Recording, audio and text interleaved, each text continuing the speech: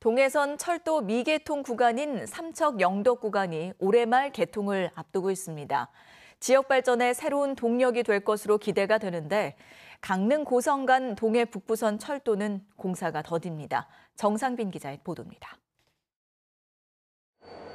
경북 울진 도심에 자리 잡은 울진역입니다. 영덕 영해역부터 삼척역까지 122km 구간 공사가 마무리돼 시설물 점검을 위한 열차 시운전이 진행되고 있습니다. 연말에는 강릉과 부산, 강릉과 대구를 환승 없이 열차로 오갈 수 있게 됩니다.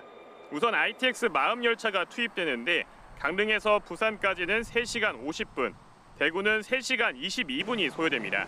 어려운 지역 경제에 힘이 돼서 많은 관광객이 오시기를 기대해 봅니다. 강릉과 고성제진을 잇는 동해 북부선 건설도 최근 모든 구간이 착공에 들어가며 속도를 내고 있습니다. 다만 공사 구간에 대한 토지 보상은 여전히 걸림돌입니다.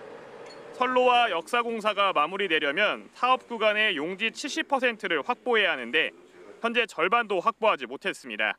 현장에서는 당초 계획한 2027년 개통에 연기가 불가피하다는 우려도 나옵니다. 용지 매수가 되게 관건입니다. 그래서 토지 보상 부분에 대해서 지역 주민들이 좀 협조가 좀 필요한 사항이거든요.